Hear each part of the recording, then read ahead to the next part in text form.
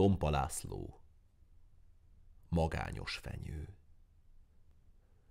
Hogy görnyed, mint aki bűnt lakol, az ősz cibálta búsbokor.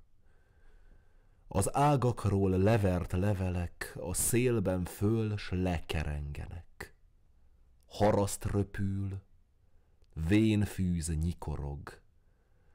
Minden csupa gyász, por, pernye, romok. A végét várja minden ez zord vidéken. Csak én nem. Én, amíg minden omlik, összedül, gyökereim mele kopár fokon, bús, székely fenyő. Megkapaszkodom, s állok daccal, társ nélkül, egyedül. S míg havad dob rám hóköpenyt egy szeles nap, vagy vad éj, így bíztatom magam, ne félj, te tovább tartasz, mint a tél.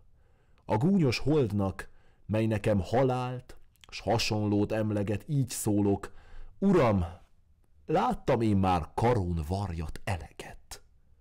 Görnyedtem én még máskor is némultan, hó és jég alatt, de törzsem, ágam akkor is a hold alatt is zöld maradt. Kibírtam én már sok telet, míg jöttek a jégtörő szelek, s gajjaimon, mint húrokon, új fuvalmak zenéltek.